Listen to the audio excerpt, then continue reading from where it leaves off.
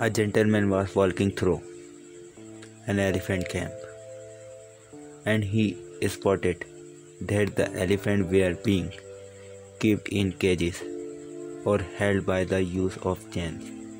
All that was holding them back from escaping the camp was a small piece of rope tied to one of their legs. As the man gazed on the elephant, he was completely confused as to why the elephant didn't just use their strength to break the rope and escape the camp. They could easily have done so, but instead, they didn't try to at all. Curious and wanting to know the answer, he asked a trainer nearby why the elephant were just standing there and never tried to escape.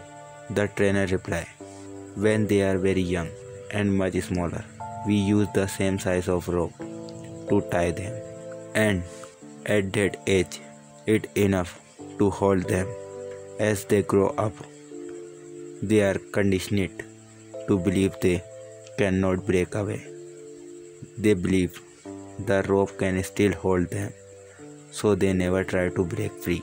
The only reason that the elephant were breaking free and escaping the camp was that over time they adopted the belief that that is just not possible.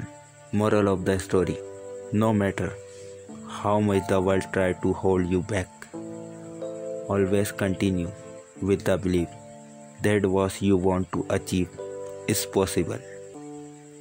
Believing you can become successful is the most important step in actually achieve it.